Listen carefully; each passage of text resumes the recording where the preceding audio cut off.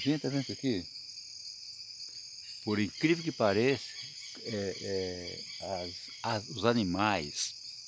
Esse tempo atrás cheguei aqui, tava uma, uma égua. Uma égua, rapaz, chega que tá de língua aberta. Sol quente, esfregando o, a, o cachimbo aqui, ó. Ah, meu Deus, a, a, a pedra cortador de cachimbo, sim, chibio. Só que a égua tem cachimbo. A vaca tem chibio, quer dizer aqui.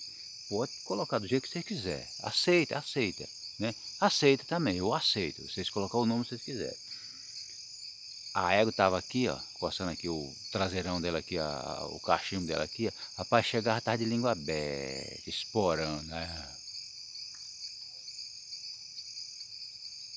E coçando assim, rapaz, deve ser gostoso pra caramba, né? Porque chega tava, dava uns porrunchos, chega dava uns porrunchos, né? Então tá aqui, aqui também, então, então aqui, né? Mostrando pra vocês a pedra coçador de cachimbo, né?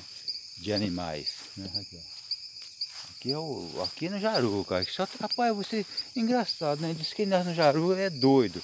Eu não, porque eu tenho parente nascido em Jaru. É, só que eu sou mais louco. Eu nasci no Barça Francisco quem é o Coporanga.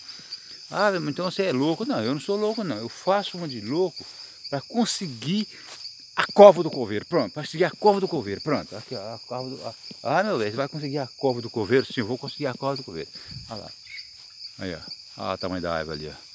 Vou conseguir a cova do coveiro. Ah, meu Deus, o que é a cova do coveiro? É coçador de cachimbo. É aquilo ali que eu mostrei para vocês, né? Coçador de cachimbo.